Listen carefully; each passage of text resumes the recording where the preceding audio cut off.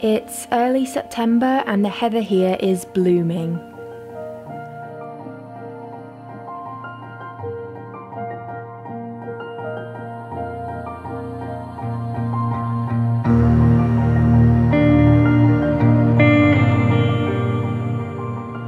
The days are already getting shorter and winter is quickly creeping up on us.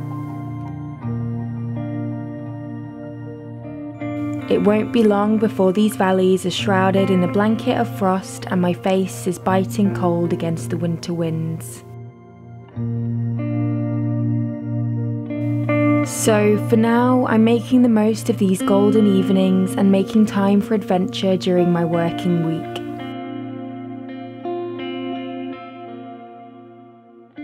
With my bag packed and ready to go, and Oslo sat waiting at the door for his evening walk, all I want when I close my laptop at 5pm is to head for the hills.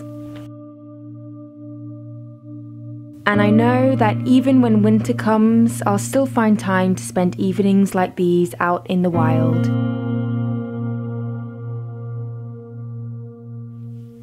It doesn't matter how far you go, there's always peace to be found somewhere near home.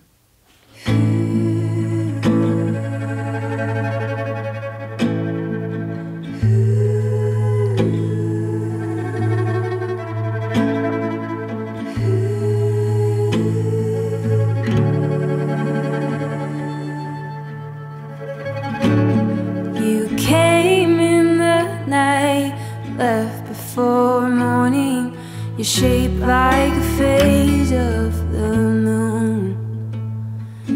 Leaning in over my body, saying, I'll see your pretty face soon.